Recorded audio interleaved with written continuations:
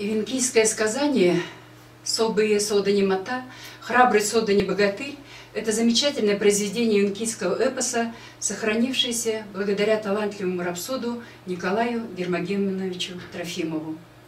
Впервые он услышал его еще мальчиком от своего первого учителя, сказителя амурского венка Семена Заболоцкого, а записал его, уже будучи тяжело больным.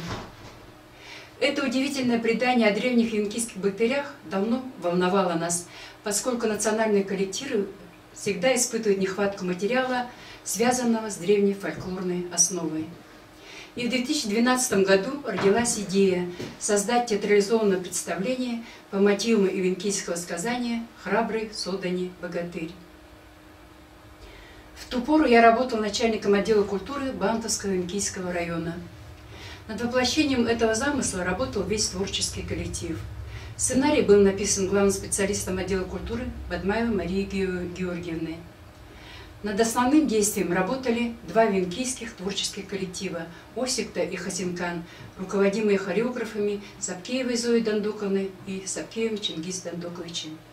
Были также задействованы и другие творческие коллективы районного дома культуры режиссер Михалева Светлана Владимировна, хормейстер Бадмажапова Валентина Максимовна.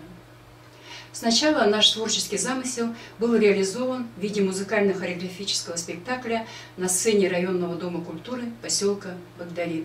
Хотелось бы сказать, что композиционно ивенкийские сказания построены в принципе одинаково. Это зачин, вступление, описание главного героя, описание местности, где он живет – и женской красоты. Затем следует завязка, нападение врагов, а потом кульминация, поход, борьба с чудовищами или врагами и победа. И, наконец, развязка – это счастливое возвращение домой и богатая счастливая жизнь. Все это в полной мере присутствует в сказании «Храбрый Содани богатырь». И все это было использовано нами для воплощения на сцене. Сказание «Храбрый Содани богатырь» – традиционный зачин, в основе которого миф о первотворении. И это было положено в начало представления. На сцене была представлена картина о зарождении жизни на земле, о появлении племени эвенков, Аи, как говорится в сказании.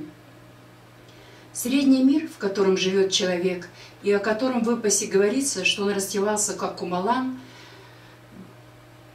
был представлен в образе птиц, зверей, оленей, красочных цветов, всего того, что есть в мире ивенка, в мире природы. Главный герой сказания – это Содани, могучий древний богатырь, который лося хватал, как паука, а медведя брал за загривок, как жучка. Такого сильного и могучего эвенкийского богатыря нам нужно было показать. Специально для него и красавица Салкандор были сшиты сценические костюмы.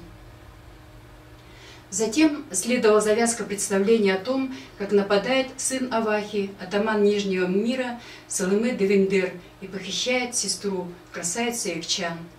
Идет битва, борьба темных и светлых сил, и Содани богатырь погибает. Но ему на помощь приходит его брат Иргеничен на могучем олене, который побеждает злого Авахи, а затем отправляется в поход освобождать сестру и возвращается с победой.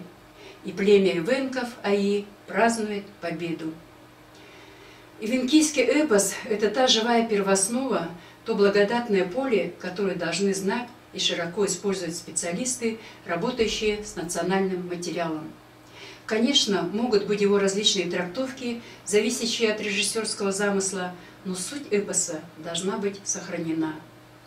Этот же эпос впоследствии был положен нами в основу при проведении более масштабного мероприятия межрегионального ивенкийского праздника Икен Содани в 2014 году когда эпическое представление, но уже с добавлением элементов сегодняшнего дня, было развернуто на стадионе поселка Богдарин. И это действие уже могли посмотреть как все жители, так и гости, участники праздника, приехавшие из северных районов Бурятии и семи ивенкийских регионов России.